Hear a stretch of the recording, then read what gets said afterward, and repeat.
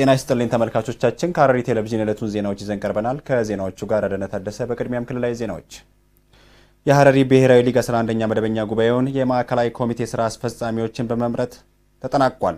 በዚህ መሰረትም አቶ ኦርዲን በድሪ የድርጅቱ ሊቀመንበር፣ አቶ አሪፍ መሐመድ ምክትል ሊቀመንበር ሆነው ሲመረጡ አቶ ሙክታር ሳህሊ፣ አቶ ካሊድ አልዋን፣ ወይዘሮ አሚና አብዱል ካሪም እና አቶ ነቢል ማሀዲና አቶ አብዱል ከሪም አብዲ የስራ አስፈጻሚ ኮሚቴ ሆነው ተመርጠዋል። አቶ ዲኒ ረመዳንና አቶ ሙህዲን አህመድ ተጠባባቂ ሆነው መመረጣቸውን ከድርጅቱ የተገኘው መረጃ ያመላክታል። ዘገባው የመንግስት ኮሚኒኬሽን ነው። የሀገሪቱን ኢኮኖሚ ለማዳበር የጥቃቅንና አነስተኛ ኢንተርፕራይዞች ሚና ከፍተኛ መሆኑ ተጠቁሟል። የጥቃቅንና አነስተኛ የምግብ ዋስትና ጽሕፈት ቤት በየወረዳው ለሚገኙ ባለሙያዎች በዛሬው ዕለትም ስልጠና ሰጥቷል። ዘገባው የሳዮ አብዱራህማን ነው። አያንቱ አመድ እንደሚከተሉት ታቀርቧለች።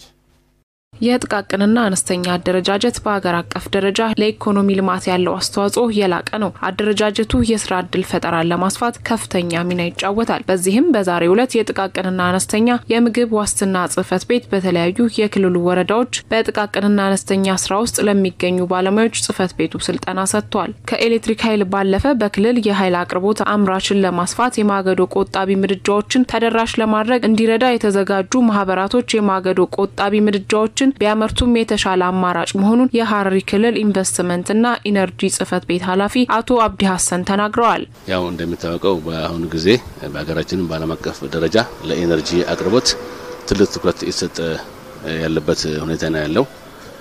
በሀገራችን ኢትዮጵያ አብዛኛው የኢነርጂ ፍላጎት የሚሟላው ከባዮማስ ወይ ደግሞ ከማገዶ እንጨት ነው። ይህ ደግሞ ለደን መመናመንና ለአካባቢ መራቆት አይነተኛ ምክንያት እንደሆነ ይታመናል።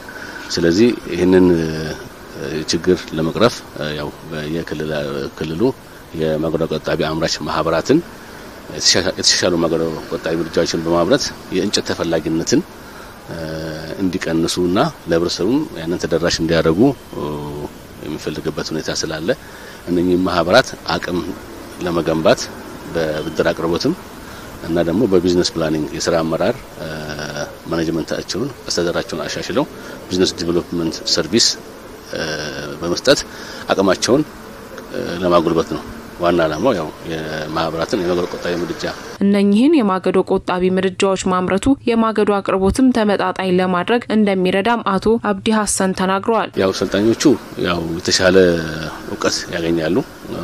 ብድር አቅርቦት እንዴት እንደሚያገኙ ብድራቸውን እንዴት እንደሚጠየቁ ከየት እንደሚጠይቁ ምን ያህል እንደሚጠይቁ የብድር አቅርቦት የሚያገኙበት ሁኔታ ነው።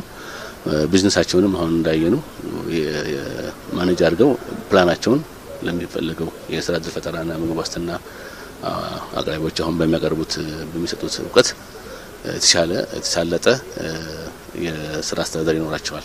ስልጠናው የማህበራትን አቅም ለመገንባት የሚያስችል መሆኑን በመጥቀስ አቅርቦቱን እንዲያገኙና የስራ እድል በማስተዳደር ስራ እድል ፈጠራን ለማሳደግና የምግብ ዋስትናን ለማረጋገጥ የሚያስችል መሆኑን አቶ አብዲ ተናግረዋል። በቀጣይም እነኚህም ማህበራት የከተሞች የስራ እድል ፈጠራና የምግብ ዋስትና ኤጀንሲ በኩል የሚፈለግባቸውን ስራ በመስራት ለህብረተሰቡ ተደራሽ ማድረግ እንደሚጠበቅባቸውም አቶ አብዲ መልእክታቸውን አስተላልፈዋል።